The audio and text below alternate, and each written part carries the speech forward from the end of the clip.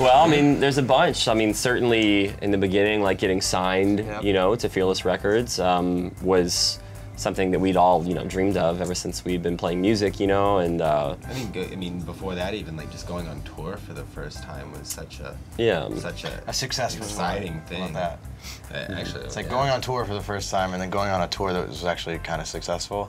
Yeah. And there wasn't just like two people watching you. Yeah. There was actually 10 people watching you. Even when there were two people watching us, like out in New Mexico, it still was like awesome. Like, oh, there's two people that actually know our band in New Mexico. This is Yeah. awesome. Yeah. Like right out of high school.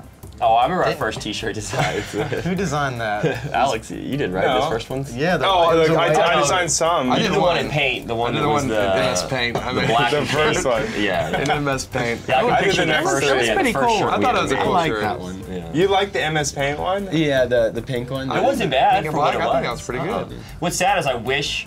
Now what I do is I keep uh, one like small of every shirt design we ever go through, but I wish I'd done that since the beginning. So I had one of like our early shirt designs. It's pretty awesome to see but- the ones that I designed. Still, like the, the there's a girl that comes out in uh in Portland, Oregon, and she has she for sure has the moon one. Oh yeah, the Yeah, weird, the the weird green. moon and the cloud Yeah. tree thing.